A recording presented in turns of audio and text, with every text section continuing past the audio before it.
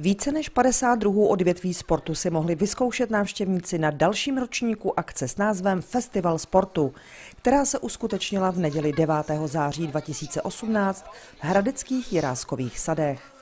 Každý si tady přišel na své. Vyzkoušet si dal například sportovní šerm, golf, hokejbal, moderní gymnastika, softball a mnohé další odvětví sportu. Děvčata si můžou vystoupit, vyzkoušet vlastně všechno práci s naším náčiním, to znamená od švihadla přes obruč, míč, kužely i stuhu naše závodnice je poučej a ukážou jim, takže se můžou zkusit vlastně všechno, co je, co je čeká. Hlavně práci rukou, samozřejmě práci těla tady moc neukážeme. Na jednotlivých stanovištích byli připraveni kvalifikovaní trenéři a sportovci, kteří odpovídali na všetečné dotazy návštěvníků. Žilo to i na pódiu, kde se jednotlivá sportovní odvětví poutavě prezentovala.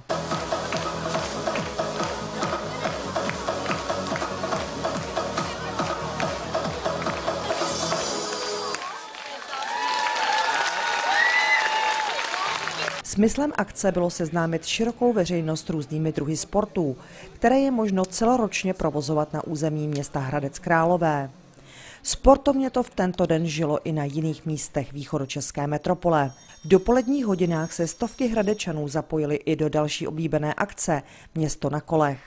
Start byl tradičně ukrytého bazénu a na kolech vyjeli něco pro své zdraví udělat účastníci všech věkových kategorií.